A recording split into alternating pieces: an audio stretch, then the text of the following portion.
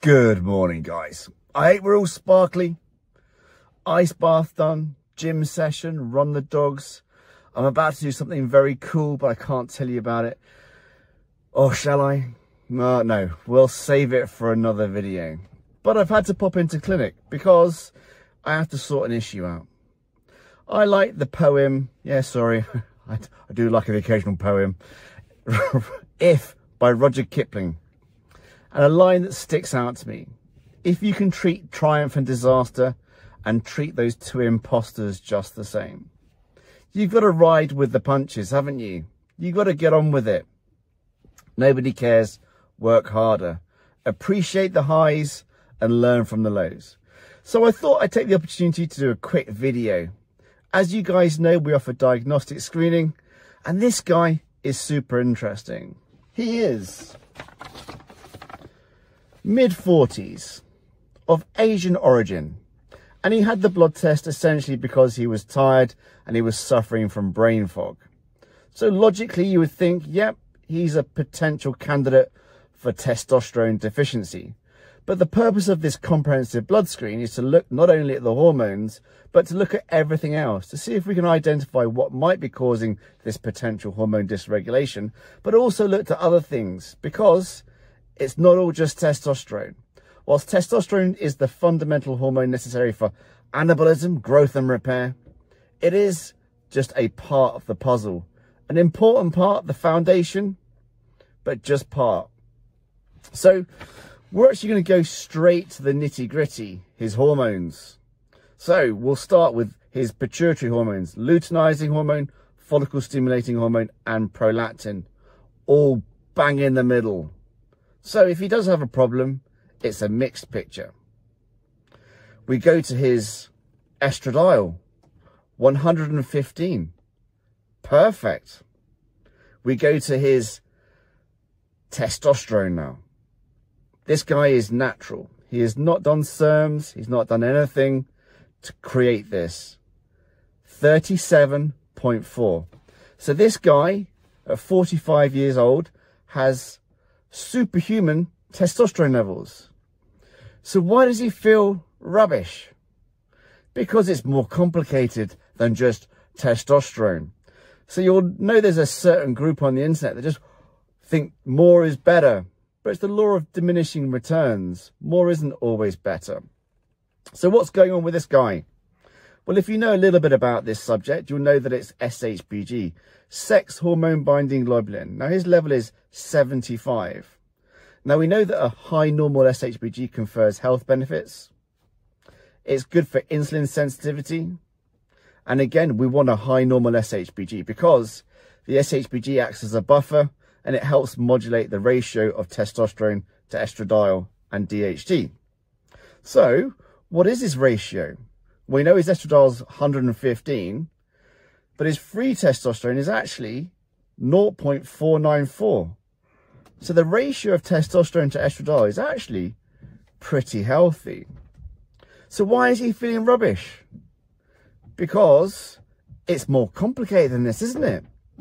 So let's look to causes of raised SHBG. Now, fundamentally, we first looked at the thyroid to see if he's hyperthyroid.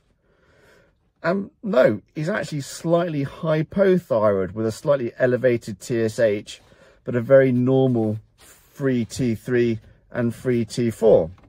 So that's not the reason for his raised SHBG. So we also looked at the liver. Is there anything going on with the liver?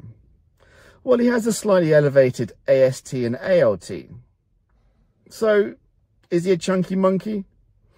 That tends to result in low SHBG.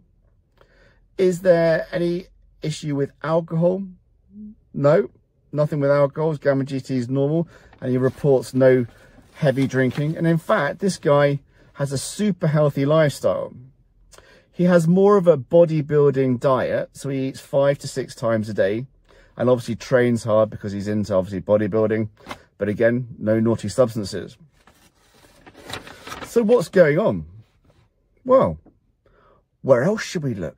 Well, we looked to obviously what might be causing raised SHBG from a lifestyle perspective. Has this guy got good sleep? Because One of the reasons why people have raised SHBG, and this is not well documented in the literature, is obstructive sleep apnea and poor sleep. Because what is that? That is a stress state. And we know that SHBG goes up in stress states. Now, as I said, we want a high normal SHBG, but when it gets to too high, it's obviously pathological because it's not allowing for a sense of well-being that you want. And whilst on paper the ratios are healthy, he's subjectively not feeling good. So he's not fasting. So we know that fasting raises SHBG. He's not calorie restricting. So we know that calorie restriction raises SHBG. So what on earth is going on with this guy? Well, let's look to his other markers. So he's got a slightly raised creatinine. And obviously, if he's a bodybuilding type guy, he's going to have a high protein diet and obviously more musculature than the average person. And with these superhuman testosterone levels, of course he has. No, you're going to need massive amounts of testosterone for anabolism. So when you're in your 40s, what do you really expect to gain? Well, you want to achieve your genetic potential, obviously, but you're not going to become Arnold Schwarzenegger, even with a testosterone of 35. And if this guy had a slightly higher free T, and we don't see higher free Ts really naturally, we only see these higher free Ts on testosterone replacement therapy. You're not going to create more muscle. So achieving your genetic potential and maximizing genetic potential and perhaps slightly surpassing your genetic potential from the fact that you don't have the corresponding anabolic versus catabolic, you're always slightly anabolic. So you are optimized. But again, it's the law of diminishing returns. Too much is too much testosterone, which means the counterbalance cortisol can't keep up. And if you get a drop in cortisol, you're going to be reliant on your excitatory neurotransmitters. And what's that going to create? That's going to create anxiety. And we don't like anxiety states. So it's paradoxical, isn't it? You say you raise testosterone to feel good, but you get anxiety because the counterbalance can't keep up. Again, what's it all about? One more time, guys. Balance, baby. Yin yang. So, what else is going on? This guy's HbA1c, so this is a measure of glucose control over three months, is normal, 37. High normal, but we know that obviously he's engaging in a bodybuilding-esque diet and not calorie restricting or carb restricting. So, yeah, very normal, frankly. His lipid profile, unremarkable. So again, he's got a slightly elevated cholesterol. And we know that cholesterol converts into pregnenolone, so we don't want low cholesterol, but we want to reduce the inflammation that might be causing raised cholesterol.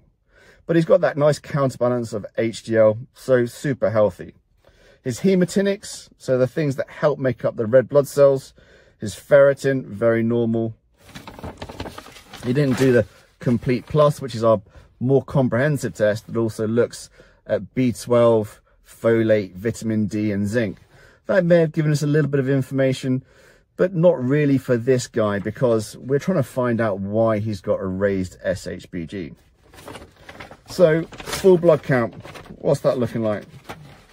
Very normal. So again, when we talk about sleep apnea, we're looking to see if the hemoglobin in hematocrit's raised and it's not. It's actually perfect. And obviously Asian origin, we're thinking about whether he's got thalassemia, and obviously he doesn't have that because he's got a good, nice, healthy HB, and his MCV is bang in the middle. So what's going on with this guy? Well, as I've said, it's super complicated. But what we do know is he's got a high SHBG with this massively elevated testosterone. It's so strange, isn't it? Well, what we'd normally think is obviously if the brain is recognizing the fact that he's got low free testosterone. And we know that obviously the estradiol, the testosterone and DHT feed back to the hypothalamus and pituitary to tell the brain that you have enough testosterone. So it's a little bit odd, isn't it? Because you would think with a good free testosterone of 0.495 and a healthy estradiol of 115, that this guy should be flying. But if you're thinking, okay, the brain must be stimulated, so it must be producing lots of LH and FSH to produce all of that testosterone, it's recognizing that that's suboptimal for this guy, it's not, is it? Because the LH and, L and FSH are bang in the middle. So what else might be going on? Well, there's a genetic component, and also it could be alpha-1 antitrypsin deficiency. So what I've recommended to this guy is to go back to his GP, present these results and ask for the test because then that will give us some concrete evidence as into why his SHBG is elevated. So what can you do about it? Well, we have an article on our website about SHBG. If you haven't read it already, read it because it's super important to understand a little bit more about health than we currently do. It's limited, isn't it, frankly? So he's going to have to optimize all of those things to help lower SHBG. But I've just said we like SHBG, but with him, it's pathological. So we want to lower SHBG. So all the things that we talk about, but actually he's doing them in already. So what else can we do? Well, there is some evidence to suggest that boron can be helpful. Now it's between six and 10 milligrams, but I really prefer six milligrams just to see if it will help modulate SHBG. But when we're armed with all the information, we can have a considered approach to the patient. When we only have limited information and we listen to the internet, we have a very limited approach and we rely on anecdotes. Anecdotes on the internet are not helpful because what are they? No anecdotes. And again, we look to the research because obviously the research is super important. Well, the research is always limited. And again, you take the research, you take your knowledge and you apply it clinically. So this guy hopefully will get some information from the GP. He's going to come back to me and for, we're going to counsel him with regards what he can do and what he can't do. So obviously testosterone replacement therapy is not in this guy's future at this juncture. So it's likely I'm going to send him away with the typical advice that I'd give to somebody with high SHBG and we'll review him as and when to see whether his pituitary responds and then essentially drops the testosterone to render him hypergonadal. So it is a good idea to have annual screening just to see where you are. And again, you want to discuss this with a clinician that knows what he's talking about, not the internet. Well, rant over. Have a great day, day guys. And do what? Yeah. Go earn your reward.